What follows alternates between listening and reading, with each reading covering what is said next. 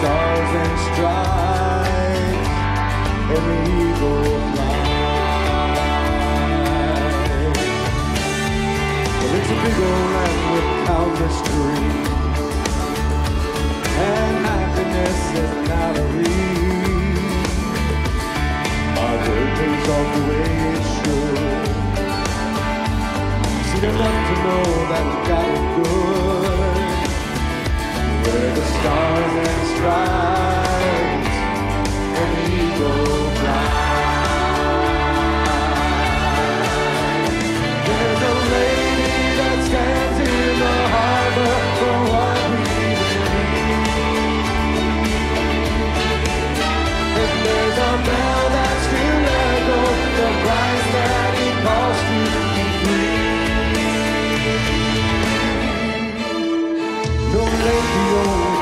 on earth.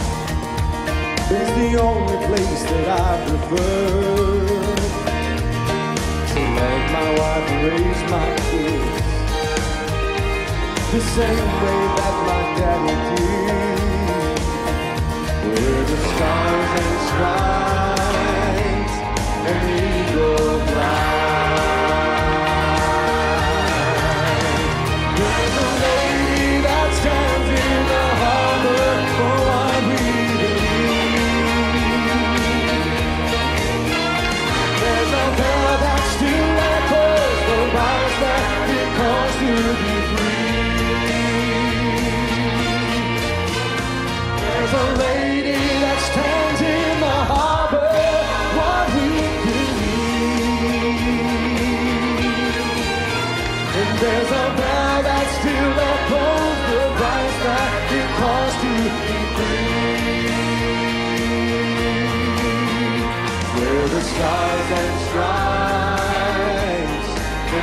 And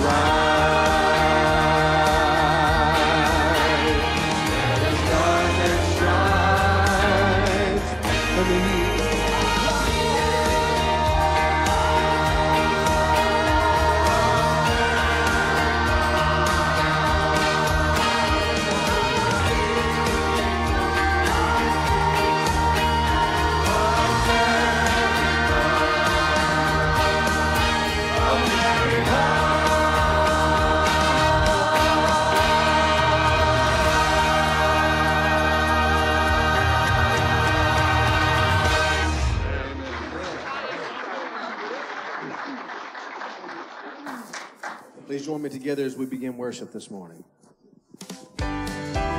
Jesus, Jesus, Jesus, there's the sweetest name I know. Let's sing. Oh, there's within my heart a melody.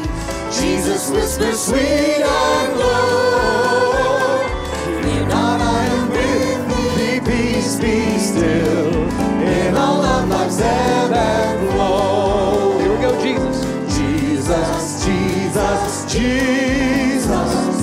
Jesus,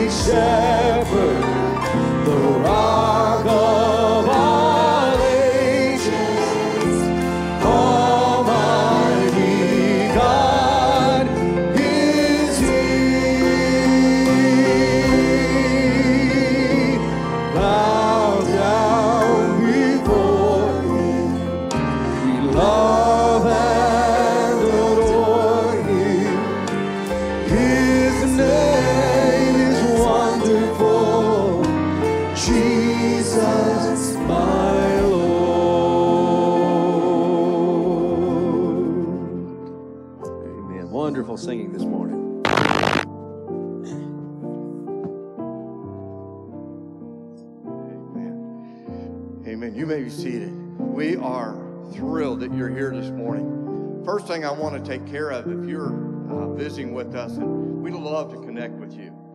We want you to look uh, to the seat right in front of you. There's a connect card there. Please take time to fill that out or hit the QR code and, and fill that out. But if you fill one out, make sure you go by the connect table. We have a gift for you. And we are very grateful that you're here. And if you've brought somebody, we can celebrate with you for bringing somebody with you. What a joy it is to sit in a in a church service with somebody that you brought and sit in the same uh, chair next to them and encourage them. And what an encouragement they are to you. So we're very grateful that you are here this morning. We want to remind you that there's a couple of announcements we want to share with you. First is um, CNC 50th anniversary Uh, that is going to happen October the 6th through the 9th. And we want you to sign up to help with volunteering with that, with the hospitality, the greeting, the food services. And we're also needing some homes to help with housing some of the missionaries that are coming in. We need uh, four couples. We need homes for at least four couples to be able to stay with us during that time. And then we also need six ladies to be able to stay in homes within our congregation and also six men. And if you're able to do that, please call the office and sign up for that. Uh, that is a great need. And these missionaries are coming in and counting on us to uh, help them and encourage them. And what an encouragement when the missionaries are in our homes to be a part of uh, what is happening for that CMC's 50th anniversary. And what a joy it is to be a part of that. And you know, we talked about visitors this morning, but yesterday we had a tremendous outreach. I'm telling you, it blew my socks off. I'm, I'm anticipating maybe 20 or 30 folks. We had 60 people show up for outreach yesterday. And we handed out over 2,000 door hangers. What a joy. And you say, well, I didn't, I missed out. Well, not next time. We want you to be involved. What would it be like if we had 100 or 150 people come out to hang door hangers? And you say, well, it must have took them a long time. Most groups were done in 20 to 30 minutes from the time. And God blessed us with a great day yesterday on top of that. But we also want to encourage you to know that today, uh, after uh, this afternoon at 2 o'clock, is the start of Awanas. Now, please don't forget, Brother Rex is going to, if you have brought a sack lunch for your young person, they are able to stay right after the second service. Uh, I think he called it the hour and a half of Rex's chaos. And so they're going to have lunch together. Um, they'll have time in the Family Life Center. And so we want you to come and be a part of that. One is, is a great Bible class and a great way to learn scriptures. And kids put memory, the word in their heart. And God's word tells us that we hide his word in our heart that we might not sin against him. And so let me get service started with a word of prayer. Oh, Pastor, come right ahead. Yes, sir. Those are 20 missionaries who are coming from the Philippines. They've got to all get their visas, and, and Brother Lyons called and said, We've got four couples, we've got six guys, we've got six women, and they're, they're very limited on funds and they'd like to come, but they feel more comfortable staying in people's homes instead of hotels. And so, if you can help us, we're not asking you to house all the missionaries, that's just one group that's coming from the Philippines and they're missionaries to Cambodia, Laos, Vietnam, and Burma. And so that's what that's about. If you can help us, I'd appreciate it. It's good to be home. I kind of feel like what happened was it's like that guy that was driving down the road and there was a truck in front of him full of hogs.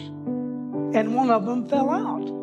And the man slammed on his brakes, had a Volkswagen. And he got it and caught that pig and put it in his Volkswagen. So he thought, I've got to catch that truck. So he's speeding down the road as fast as he can. And lo and behold, here comes a police officer, pulls him over for speeding. He said, Why are you going so fast? He said, Well, this pig fell out of the truck. And he said, I'm trying to catch that truck and give him the pig back. He said, You'll, you'll break every law in town trying to catch that truck. He said, Just take the pig to the zoo.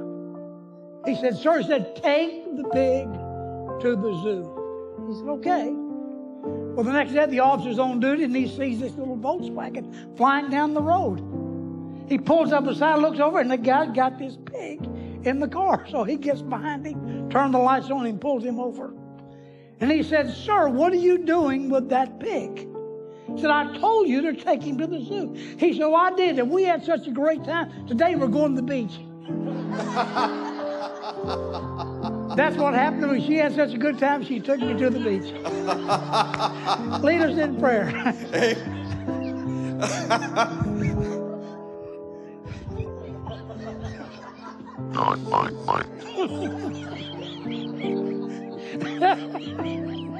Amen.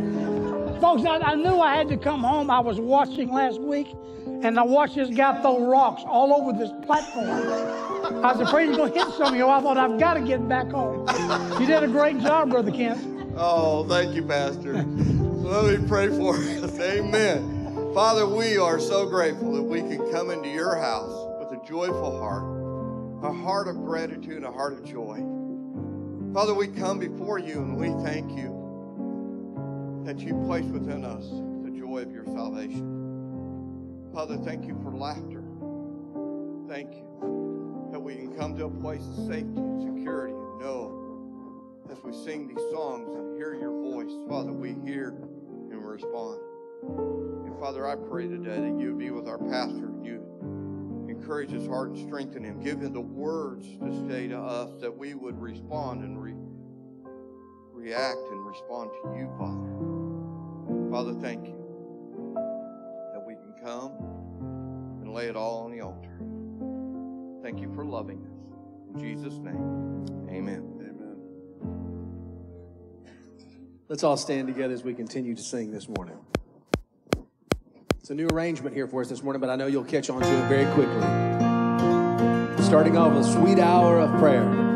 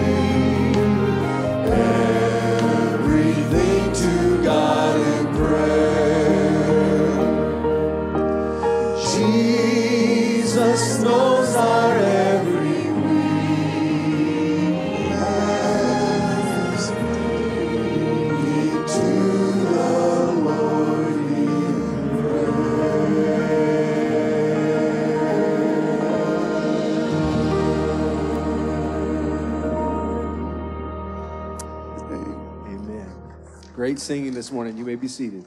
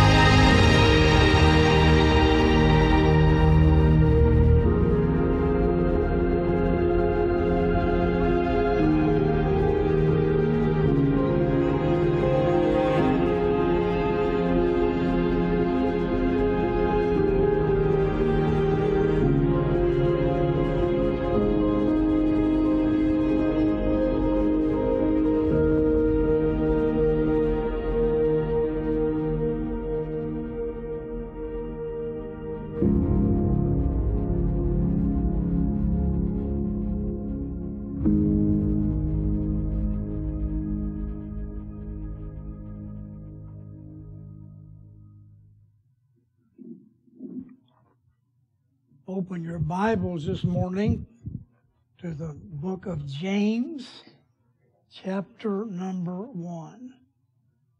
Epistle of James, chapter one. While you're turning there, let me ask you to be in prayer for Brother Doug Westbrook. He is in Memorial Hermann Hospital here in Katy. He's got some infection problems going on and in a lot of pain. And so please keep him in your prayers and of course Sherry and Sharon as they watch over him. And then pray for Lois. Esther, her mom, Esther Barker, fell and broke some ribs. And so she's 96 years old and she's a good patient, but she's in some pain as well. So please keep Esther in your prayers. Keep Lois and Russ in your prayers as they take care of her. And then you stand with me for the reading of the Word of God. Verse 17, James chapter 1. Every good gift and every perfect gift is from above and cometh down from the Father of lights, with whom is no variableness, neither shadow of turning. Of his own will begat he us with the word of truth, that we should be a kind of first fruits of his creatures. Wherefore, my beloved brethren, let every man be swift to hear, slow to speak, slow to wrath. For the wrath of man worketh not the righteousness of God. Wherefore lay apart all filthiness and superfluity of naughtiness, and receive with meekness the engrafted word which is able to save your souls. But be ye doers of the word, and not hearers only, deceiving your own selves. For if any be a hearer of the word and not a doer, he is like a man beholding his natural face in a glass. For he beholdeth himself, goeth his way, and straightway forgetteth what manner of man he was. But whoso looketh into the perfect law of liberty and continueth therein, he being not a forgetful hearer, but a doer of the work, this man shall be blessed in his deed. Father, it's our prayer this morning that as we come into your presence, that you would bless the reading, the hearing, and the preaching of your word. Pray, Lord, this morning that the Holy Spirit would do a special work in each of our hearts, in each of our lives. And may we be able to say when we leave this place this morning that it was truly good to have been in the house of the Lord. And we'll thank you in Jesus' name. Amen. And you may be seated. You remember over the last few weeks that we've looked, the past few weeks I was here, we were looking at the parable over in Matthew chapter 13.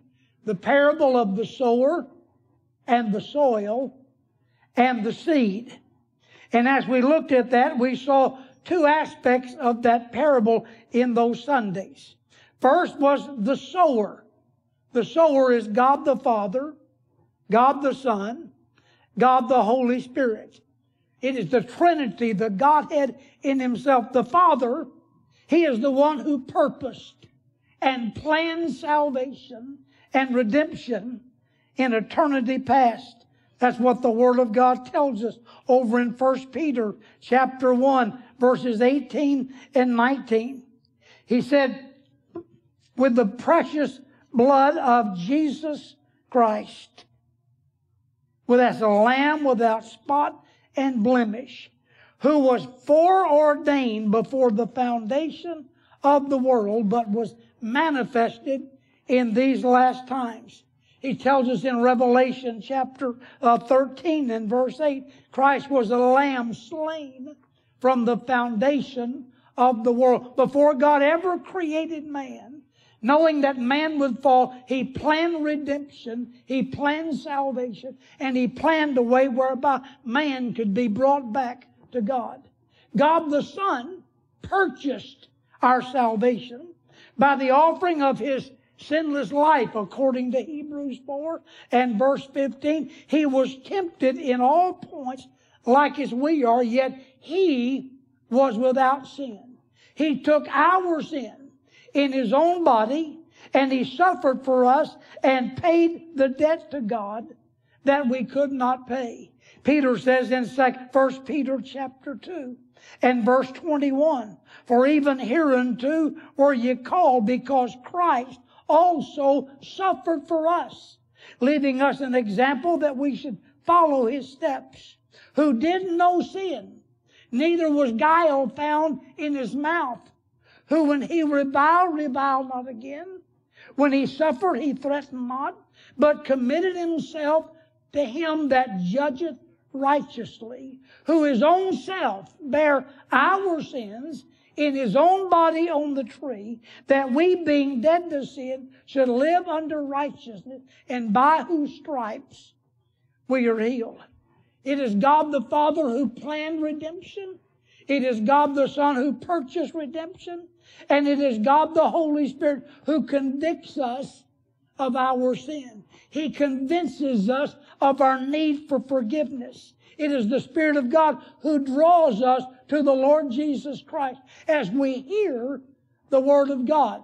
Paul said in Romans 10 and verse 17 that faith comes by hearing and hearing by the Word of God. Paul said to the Ephesians in Ephesians chapter 1 and verse 12 that we should be to the praise of His glory who first trusted in Christ, whom ye also trusted after that you heard the word of truth, the gospel of your salvation, in whom also after ye believed and you were sealed, you were drawn, you were secured by the Holy Spirit of promise.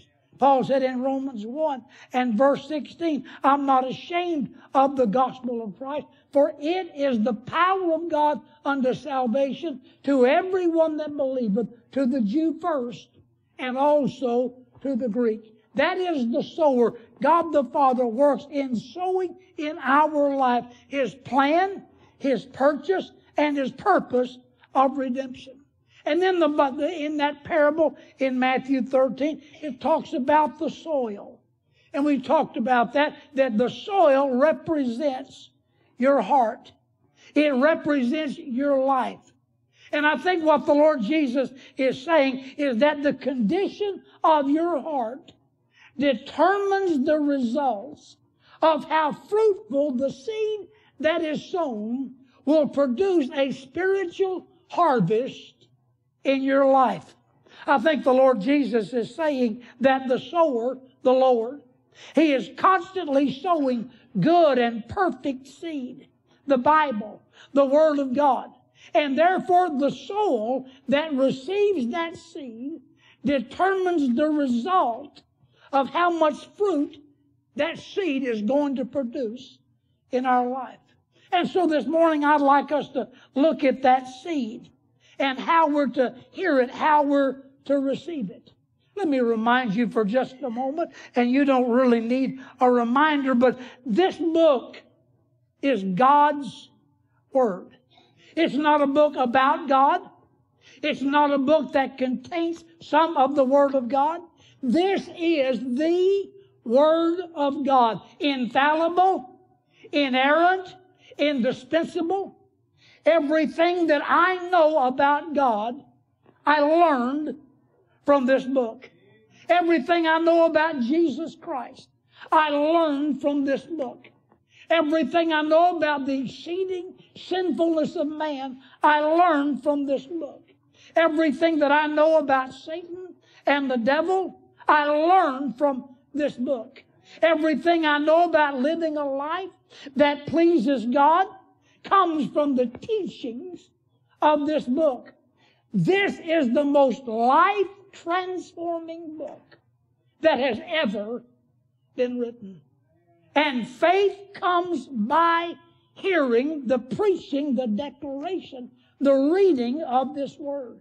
Hebrews chapter 4 and verse 12 tells us that the word of God is quick and powerful and sharper than any two-edged sword piercing to the side, the division of soul and spirit, joint and marrow, and it, the Word of God, is the discerner of the thoughts and intents of the Word of God and man. The Bible uh, is a roadmap for believers. It's marching orders for the Christian soldier. It's God's love letter to His children. It is the book of all books. And may I tell you this morning, I just love this book. And every time I read it, it convicts me. It corrects me. It convinces me. It warns me of chastisement. It constantly invades my heart and my mind to keep me in the boundaries of God's will and God's way. The Word of God, it cuddles me in the assurance of God's love. It cradles me in the knowledge of truth. It gives me divine direction. It gives me daily guidance in my life. And I want to always be careful and never careless with humbly proclaiming to you the Word of God. Notice what James says concerning this book. I want you just to notice that last phrase of verse number 21. I think, let me get there. Verse 21. James said, lay apart all filthiness and superfluity of naughtiness and receive with meekness the engrafted word which is able to save your souls. That little phrase there, save your soul, is not talking primarily about redemption. It's talking about deliverance. It's talking about making you whole. It's talking about making you complete and healthy. And, and I'll be honest with you, I am amazed at the claim that this Bible makes for itself. That Bible that we're reading this morning, that you hold in your hand, it claims to literally be able to save our life, to make us whole, to make, deliver us from every problem, from every sin, from every temptation that would ruin our life. The psalmist said in Psalm 138 and verse 2 that God has exalted his word even above his name.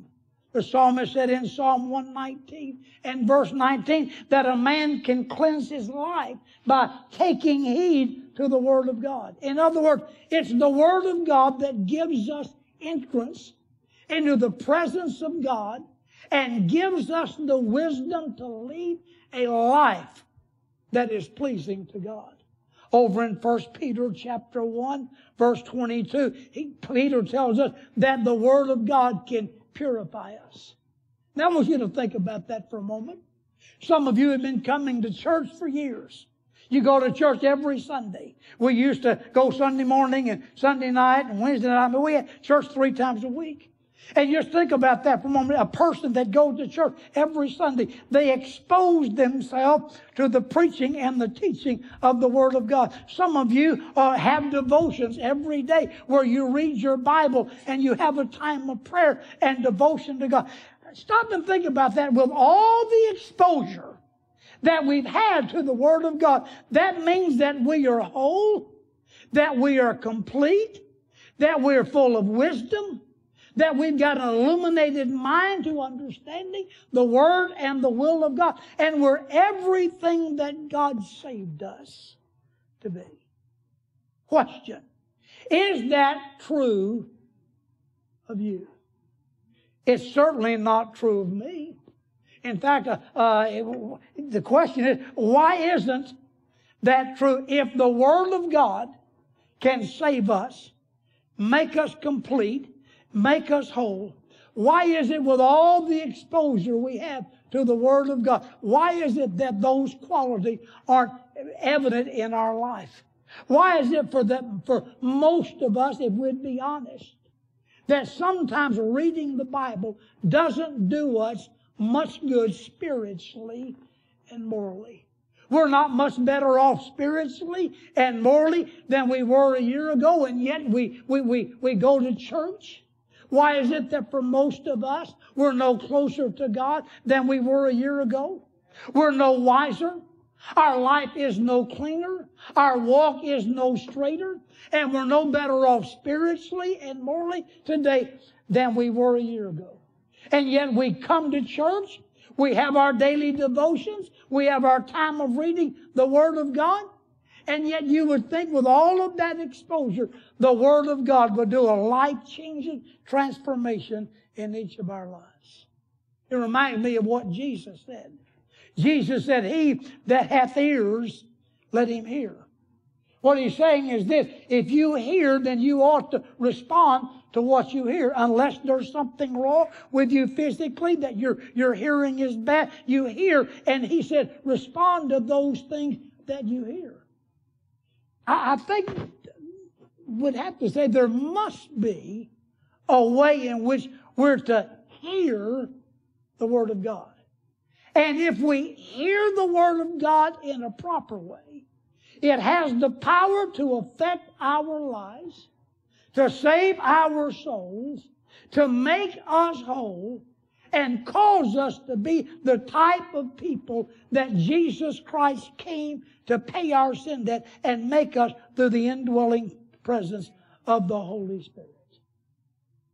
I think it'd be beneficial this morning if we just look for a few minutes and find how are we to listen to the Word of God. Notice in verse 21 that James said after we lay aside these things, we are to receive the Word of God with meekness. Let me just point out two things. First is the word receive.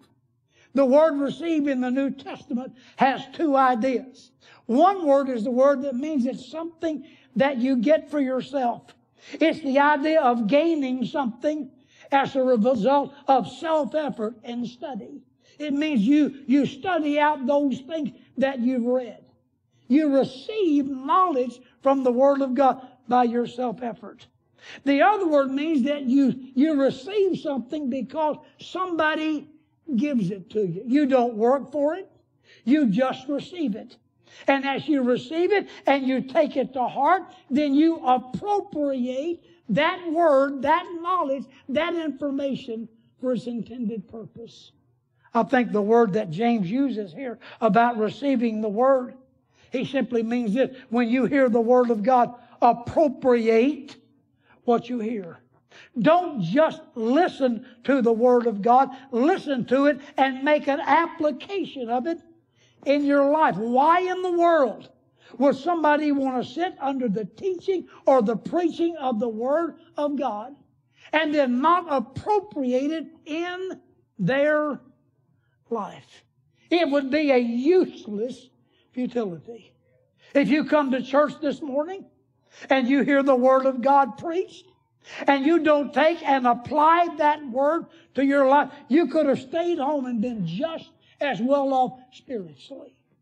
James is saying that we need to take and appropriate the Word of God. Why? Because it is the engrafted Word. It means it's the divinely planted Word. And again and again throughout the pages of this book, the Word of God is always pictured as a seed that God plants in our hearts. The, the sower went out to sow, and he sowed good seed, and it fell upon the ground, upon the earth, upon the hearts of those who heard it. And if we'll take the seed that God's trying to plant in our hearts, and we'll nurture it and we'll cultivate it and we'll feed it, it'll be able to do in our life everything that God desires us to do. The only way you and I will ever be the Christian that God wants us to be is to take the principles of the Word of God and apply them into our life. Anything else is the futility in religiosity. We must take the Word of God it is implanted in our life, and that divinely Word is able to make us everything that God wants us to be. Let me just suggest from this passage of how we're to receive the Word of God, how we're to hear the Word of God. Look at that 21st verse. Wherefore, lay apart all filthiness and superfluity of naughtiness. James is saying, first of all, we must receive the Word of God in holiness. Lay apart It's a, a phrase that was used to describe the discarding of old dirty clothes. It's a graphic picture of a person working out in the field. And after they come in from the field, they take those soiled, sweaty, dirty clothes and they take them off and they dispose of them. They get rid of them and they put on something clean. He said, you are to lay aside all filthiness of the flesh. You remember over in John 11, verse 44, when Jesus raised Lazarus from the grave, the first thing he said was, he said, take those old grave clothes off of him, that he might now no longer have the clothes of death. Loose him and let him go. That's the first thing that they did, was take the grave clothes off. You remember in Luke 15, when the prodigal son came home from the foreign country, and he was wearing those old soiled garments that he wore in the, in, in the uh, foreign country, his clothes of rebellion. The first thing the father did was took off the old clothes and put new clothes, put a new robe on him. I think what James is saying is that before you and I can ever hear the word of God properly, and before the Word of God can ever take good effect and grow in our life, we must first lay apart all filthiness and all superfluity of naughtiness and wickedness. I think it's another way of saying uh, that that word superfluity means excess. And, and uh, I think what he's saying is this, that every one of us have to get rid of all the hangover sins in our life. When God saved us, He saved us from our sin. He took all of our sins and put them behind His back. He took all of our sins and cast them as far as the east is from the west. And now we live a new life in Jesus Christ. Galatians 2 and verse 20, I am crucified with Christ. Nevertheless, I live, yet not I, but Christ liveth in me. And the life I'm now living in the flesh, I'm living according to my faith in the Son of God. I think one of the problems that we have is that when we come into the presence of God to worship, too often times we come to have the Word of God ministered to us. And when we come, we bring excess we bring hangover sins. Some of those things in our life that we've not gotten straight. That's why the psalmist said in Psalm 66 and verse 18, If I regard iniquity in my heart, the Lord shall not hear me. And I think if we'd all be honest today, we'd have to admit that some of us still have some things hanging around in our life that were part of the old life and whether God saved you six months ago, or a year ago, or five years ago, or 20 years ago, we still have some of those old sins hanging around in our life that existed in our life before we ever came to Christ. James said you've got to get rid of all superfluity of naughtiness. Listen to what Paul told the church at Ephesus in Ephesians 4 and verse 22. That you put off concerning the former conversation. Put off the old man which is corrupt according to deceitful lust. Verse 24, and then put on the new man, which after God is created in righteousness and true holiness. I love that passage over in Colossians chapter 3, where Paul is talking to the Colossians and he makes this statement in chapter 3 and verse 1. If we be risen with Christ. If you're a child of God, if you've accepted Jesus Christ into your life, if the Holy Spirit of God now possesses your body and your body is the temple of the Lord, then seek those things which are above, where Christ sitteth on the right hand of God. Set your affection on things above, not on things on the earth. For you are now dead and your life is hid with Christ in God when Christ, who is our life, shall appear. We shall appear with him in glory. And then verse 5 simply said this Mortify therefore your members upon the earth. All of those sinful, ungodly things that were part of our old nature, he said, you must put them off. You may have heard me tell this story before, but I love telling it. Years ago, it was after midnight, and I, I just had the urge. I needed to go to the store. And I lived out there on Katy Hockley out in the middle of nowhere. And so I was sitting, and I just grabbed, I had a pair of blue silk pajamas, and I just put the blue jeans on those little pajamas. Put on my sweatshirt. It was, it was November, December, and drove all the way up to Kroger's up on, on uh, in Spring Branch, on Hammerly. You know, it's one o'clock in the morning. I go in there, go back and get what I just had the craving for. And when, when I was line, the only one check stand was open, and there were three or four people in line. And so I'm standing in line with my stuff. And I noticed this young lady, two people up in front of me, she just kind of looked back and she just kind of smiled at me. Very attractive. And I thought, huh, I guess I still got it, you know.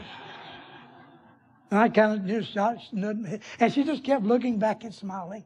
So they checked her out, and just as she got her groceries, she said, I just love your pajamas. I looked down in those blue silk pajamas that slipped down and they were covering my tennis shoes. That's the way too many of us are when it comes to this new life in Jesus Christ. Instead of getting rid of the old life, we just cover it up with all of our spiritual actions and attitude.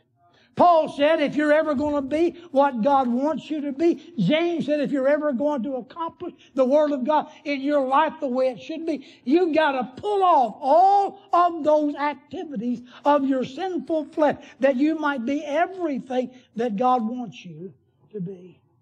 Before we can properly receive the Word of God, we must get rid of all excess sin. Now don't misunderstand me. All sin is excess. But James is primarily talking about those things that we've allowed to remain in our life now that we're a Christian. I think it's what Hebrews 12 and verse 1 is talking about, about the sin that so easily us. All of us have one of them, or two of them. All of us have some things in our life that we know the Lord's not pleased with. They were there before we ever got saved, and we just let them uh, remain comfortable in our life. James says you'll never, the Word of God will never have good access in your life to grow and mature you until, first of all, you deal with all sin in your life. And unless we're willing to get rid of the sin in our life, and lay aside those things that are outside of the will of God for our life. Church, there's absolutely no possibility of ever understanding the Word of God and it ever becoming full in your life. Jesus Christ said over in 1 Peter chapter 3 and verse 18 that he suffered for our sins, the just for the unjust, that he might bring us to God. He says in Hebrews chapter 10 and verse 10, by the which will we were crucified, we were made holy through the offering of the body of Jesus Christ once and for all. And as followers of Jesus Christ, we must strive to live holy lives. Hebrews 12 and verse 14, follow peace with all men and holiness without which no man shall see the Lord. D.L. Moody said, either sin will keep you from this book, or this book will keep you from sin. And if our worship, if our Bible study, if our walk with God is ever going to be what God wants it to be, we must first of all meet the qualification of holiness. Are you willing this morning to lay aside everything and anything in your life that you have doubt about as to whether it is right in the sight of God. You have any idea what would happen in your life? What would happen in my life? What would happen in the life of this church if every one of us made the decision that we were going to deal with every issue in our life that we knew displeased. The joy and the freedom and the contentment that would take place in our life would arouse a lost world for Jesus Christ. Church, the first qualification for understanding the Word of God is not an intellectual understanding, but rather it is a moral qualification. Not only are we to hear the Word of God with holiness, but he said, receive with meekness the engrafted Word which is able to save your souls. You are to receive the Word of God with a meek spirit. And that word meek simply means a teachable spirit. Well, what is a teachable spirit? A teachable spirit is that attitude that hears what the teacher says without arguing, without resisting, and without pulling back from the instructions. A teachable spirit says, I'm going to listen to what the teacher has to say, and I'm going to obey it. I wonder how many of us this morning, when we were getting ready to come to the house of God, said to the Lord, Lord, I have no idea what the preacher's going to preach about. I have no idea what the service is going to be like. But Lord, whatever I hear from the Word of God this morning, I am going to do it. That is a teachable spirit. Hey, I've, through the years, I've, you know, when you've been here for 47 years, I've had a lot of staff members. And, and I've had some who worked for me that didn't have teachable spirits. I think of one one fellow that worked for me. Um, I remember one day the phone was ringing, ringing. Miss Reagan didn't get the phone, and finally I answered the phone after about five or six rings. That was before you know all these fancy answering service and all that stuff. So I, I walked out my office and went over this one staff member, opened his door, and he's painting a picture of a dog. And I said, Did you hear the phone ring? Yeah, I heard, I heard ring. Why didn't you answer? That ain't my job. That's secretary's job, the phone. I said, Well, if the phone rings and nobody answers it, then you answer it. But that ain't my job. I said, Well, your job is to do whatever needs to be done to make this church be what it's supposed to be. He said, Got it. I mean, not 30 minutes. The phone rang and rang and rang. And I went over the door and I said, Answer the phone. He said, You're not being very godly. I had another staff member. We had a Christian school. We had daycare. And it was in August, mid August. We were getting ready for school to start. Daycare fixed to kick back up.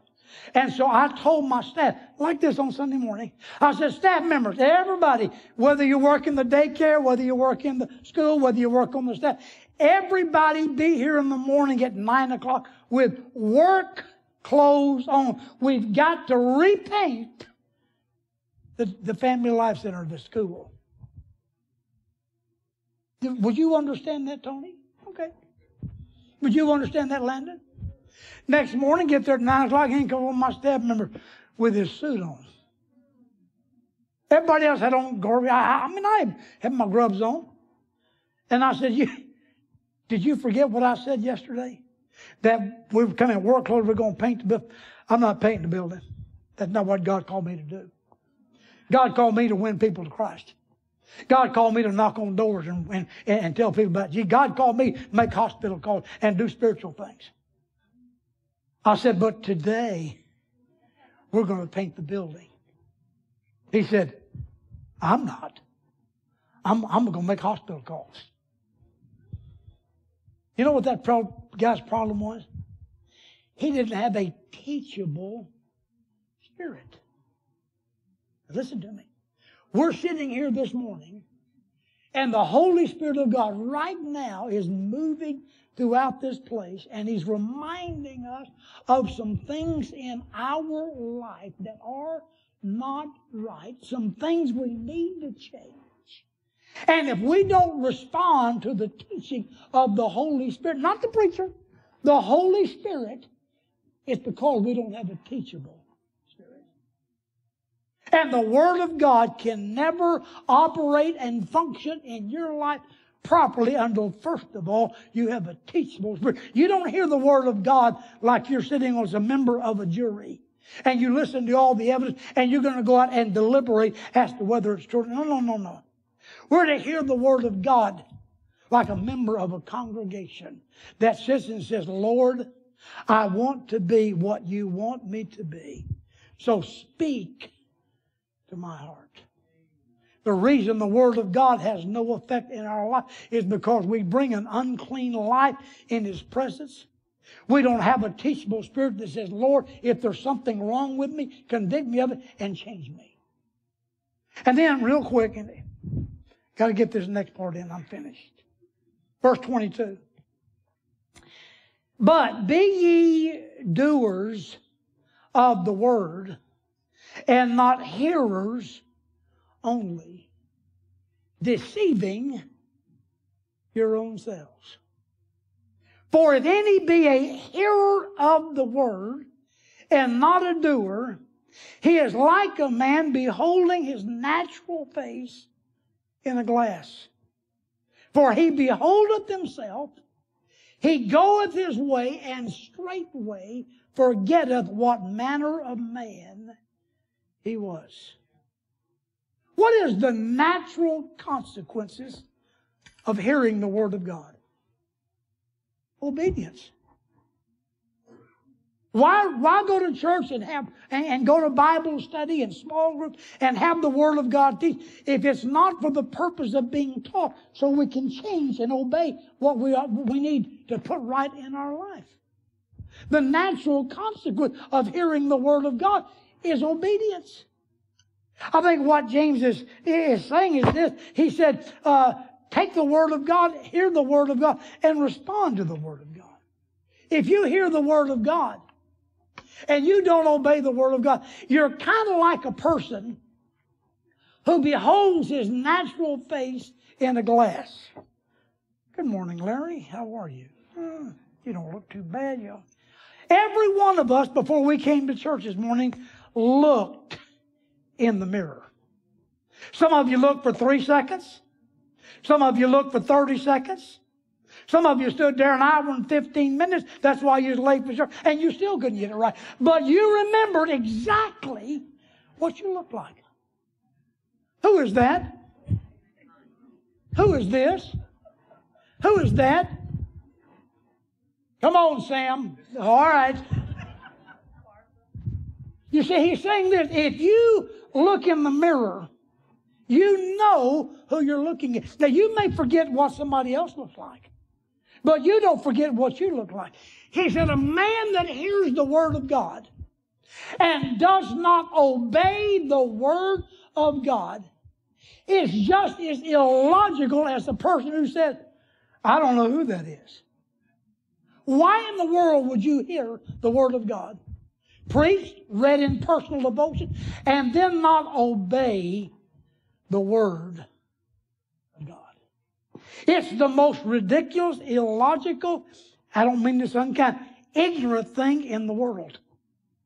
To hear the life changing message of God's Word and not obey it in your life. We wonder sometimes why in the world we have the problems we have. It's not because of ignorance. It's because of being deceitful, deceiving ourselves. You, you might come out the door and I hear it every Sunday. Oh, Pastor, such a good message. Thank you. Just what I needed. Service was great. You can be in a worship service and the singing can be great. The preaching can be average, okay. invitation, people respond, make decisions, and we walk out and say, oh, it was just so wonderful to be in the house of God today. But if you leave this place and you don't apply the teachings of the Word of God, you've deceived yourself about how wonderful it was to be in the house of God. And that's the problem so many of us. God is sowing. God the Father ordained it. God the Son purchased it. The Holy Spirit of God, He moves in our life. He convicts us. He convinces us. He's trying to draw us to the, to the Father. And if we don't obey the perfect seed of God, it's because it fell bad soil, which is the condition of our heart and our life. Is there anything in your life this morning that you're being disobedient about? Is there any truth of the Word of God that you know how God would want you to live, how God would want you to act, how God would want you to do some things? Is there anything in your life that you know is right, but you're not doing it? You are deceiving yourself about how good of a Christian you really are. I want you to bow your head with me. Close your eyes for just a moment. This is the most important part of the whole service. It's when we ask the Holy Spirit of God to literally move in our life. Is there something in your life? Is there any act of disobedience? Any ungodly actions or attitude in your life that you know is not right with God. The Word of God will never have good effect in your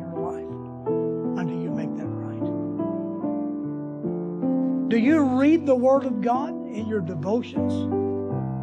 Do you listen to it on the radio or on television? Do you hear it in the church when you come to worship? And you hear things and yet you're not applying them to your life with a teachable spirit? Are you deceiving yourself by not being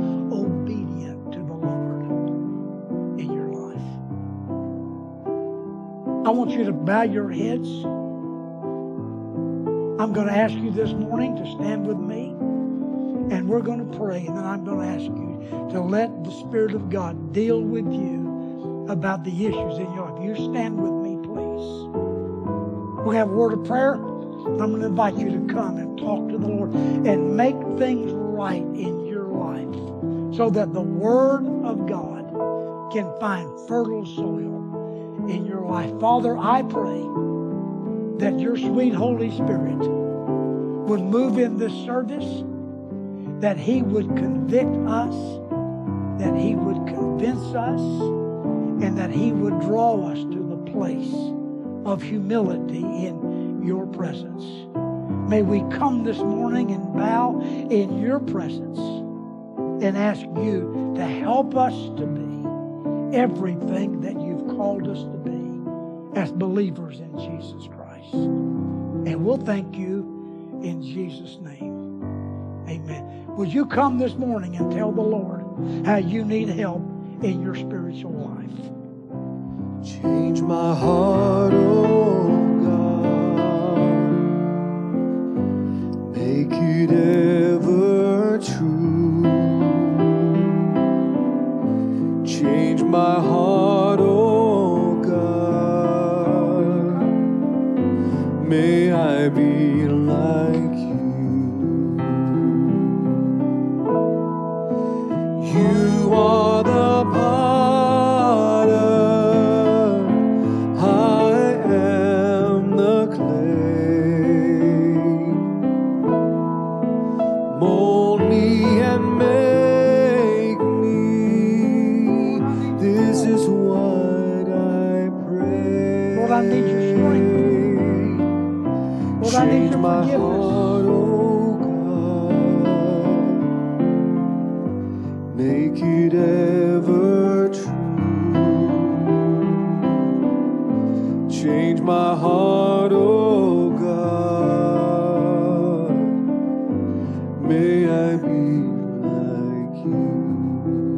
about that for a moment?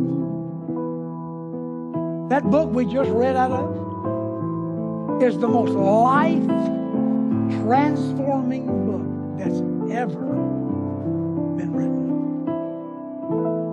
But the reason it doesn't transform us is, first of all, because we don't believe it. Secondly, because we don't meet the requirements that the Lord expects us to meet those requirements. If you've got sin in your life, and I don't want to define sin, maybe you just don't like somebody. You got an attitude towards somebody. That attitude is sin. Maybe you're dishonest. Maybe you have a hard time telling the truth. Maybe you're always flying off the handle, losing your temper. Sin is anything that is an ungodly, unchristlike activity in our life. And folks, I've got a bunch of them.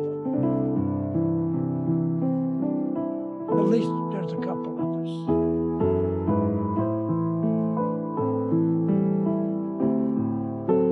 Lord, I kept saying, Lord, I'm, I'm, I'm getting, I just, just conviction this week. So, Lord, I'm getting this for Buddy. Lord, I'm getting this for John. And yet the Lord just kept convicting me of all these things in my life. And then Barbara's like he said, Do you have a teachable spirit? Or are you going to be a hypocrite and tell everybody else that? Folks, obedience is the key.